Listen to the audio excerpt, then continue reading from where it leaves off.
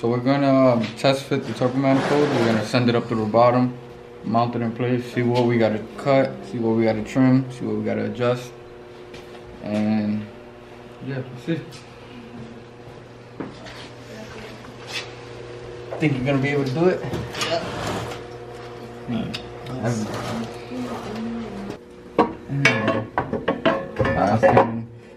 Hitting, it's hitting against this with the other. Nope. Nope. That's gonna, yeah, it's gonna be a pain doing that. So let's try to get it from the top. Maybe. Might have to take the VTEC solenoid off. Yeah, definitely. I think we can we can probably slide it right in Yeah. through here. Alright, so he's under here um, draining the oil. 17. Because we're gonna have to drop the oil pan to put a bung on it for the return line. So draining the oil now while we try to work with this manifold to fit it in.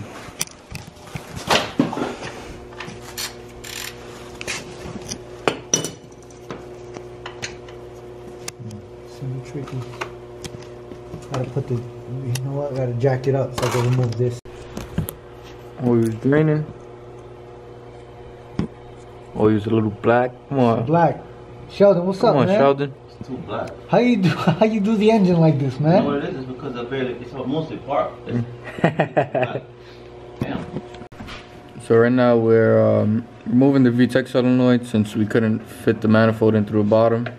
So we're gonna just move this out the way so we could push it to the side and try to squeeze the manifold in through here.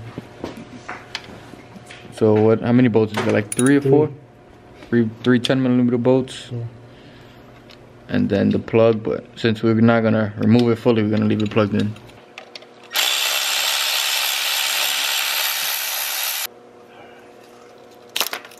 Yeah, it's off. That was easy. Just watch uh, you don't drop the gasket and lose it. It has a little rubber gasket around it. Yeah. Most of the time you don't have to worry about it, but Okay. just to be safe.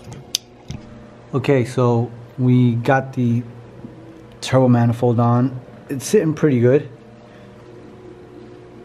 We removed the VTEC solenoid just to make sure that we were able to fit it properly without any obstructions. So this is how it's sitting right now. Looks pretty good. We also removed the screws for the fuse box. But I think we could get away with putting it back where it belongs. So yeah, we actually can. We'll just heat wrap some of the components that way to protect them from uh, heat soak. So it looks pretty good actually. I'm really impressed with it. What do you think, Shell? Yeah. Pretty good. Yeah. I like it. The AC lines are in place. AC will still work. Yeah, AC compatible. Now we just got to decide what we're gonna do about these dual wastegates. Um, one of them's getting cut off and capped. Not sure which one yet. Probably this one, but we don't know. We got to mount the turbo and see how the fitment is. Wow.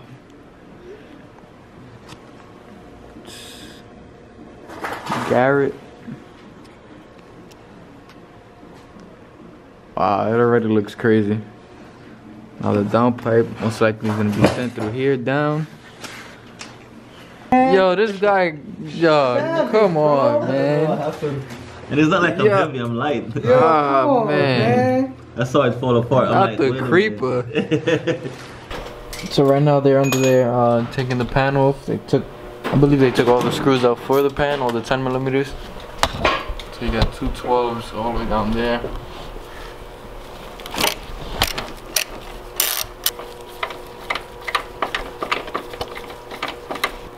So right now he's prying against the pan side by side because you don't want to bend the pan or scratch up the bottom of the motor. So you want to be gentle with pulling it apart. Little by little. Boom, there goes the pan. What's going on guys? Welcome back today to the channel. Uh, so right now we're um, at the garage again. We're working on the S1000. We're gonna continue boosting this thing. Uh, so Sheldon right now is removing the front timing plate, the timing cover, so we could get to the pulse plates to change them. Like uh, I think we showed you the last video. These are the pulse plates. Let me see if I can get the part number. This is the part number there. For one of them, this is the other one.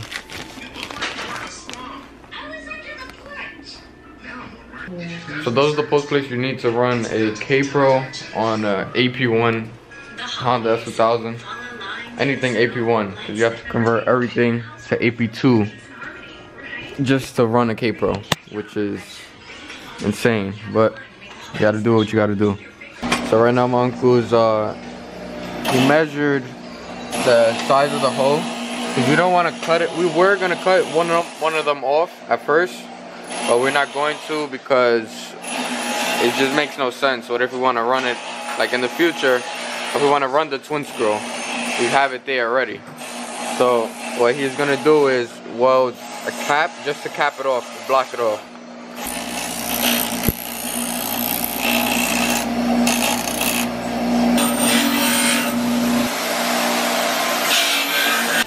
So this is actually what he's doing. He's gonna weld the cap to a uh, another flange so we could just mount it on instead of welding the manifold itself.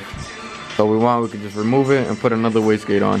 So right now we get into the TIG welder setup for stainless. So we got the uh, what's his name again? Furick. Yeah, Furick, Got the Furick cup on. Jazzy 10. Jazzy 10 Furick cup.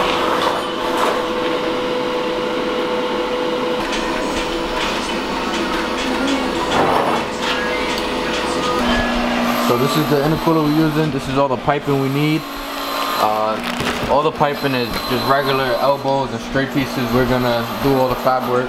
We're cutting all the pies. We're cutting all the angles. We're doing everything custom. So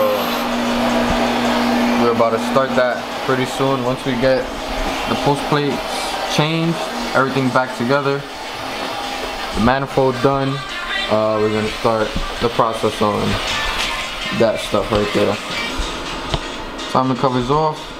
Now we gotta take that down there apart and get to the pulse plate.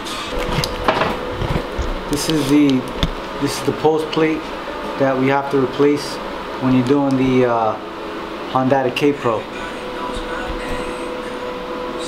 So this is an AP2 pulse plate. Is going on the AP1. Outside.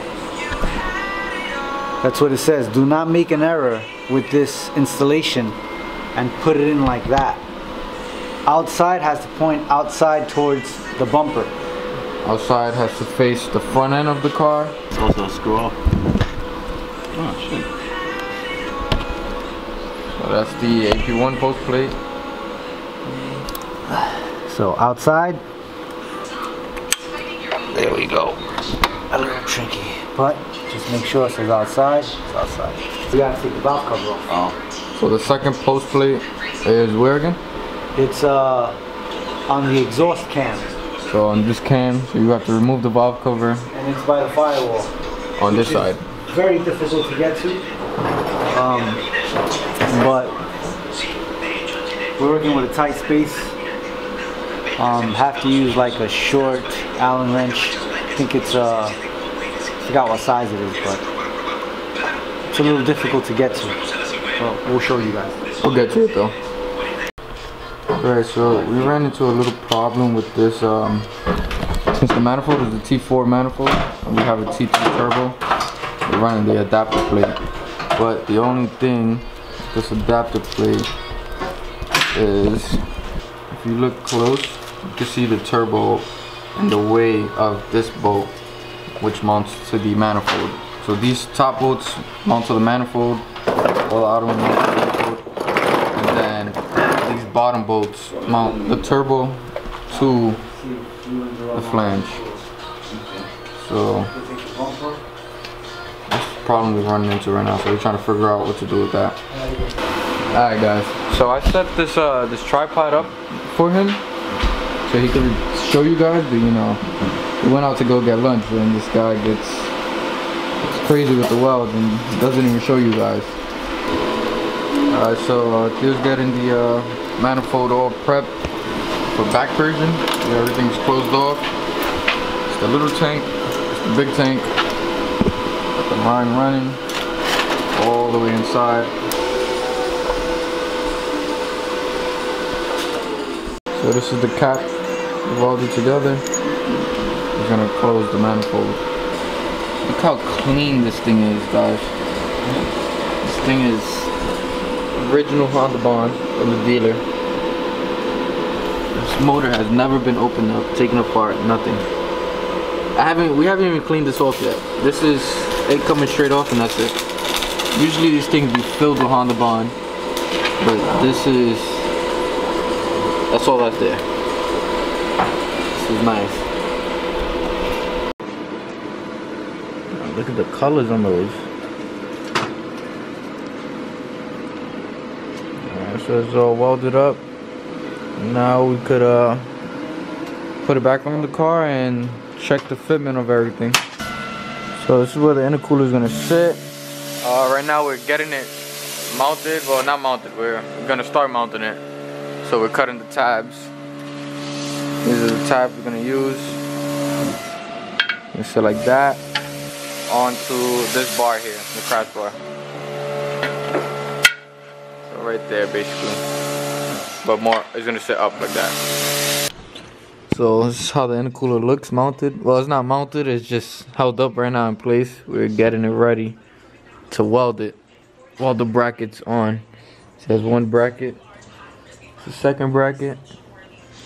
And it looks, looks great.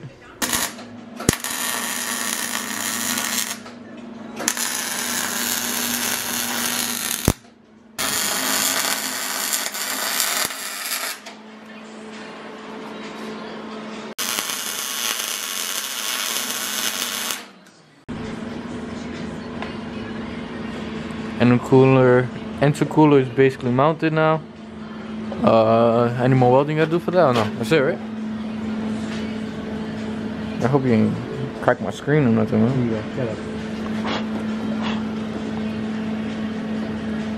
Yo, yo you that burnt my screen a little bit Real? yeah Oh, sorry, bro. that's crazy messed up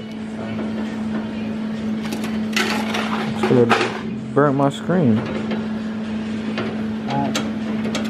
Stop. Yo you a savage Uh, yo, I totally forgot, bro. I'm sorry. Now we're cutting the uh, the plastic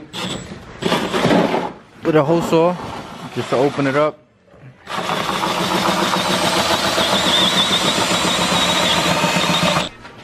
And the cooler's on. Yo. So right now we're gonna start cutting some pies. You've seen from boosting this guy's S2000. We already got it marked. One side. That's the other side.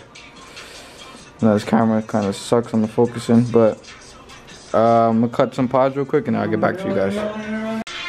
Alright guys, uh, so a little update. Manifold is on.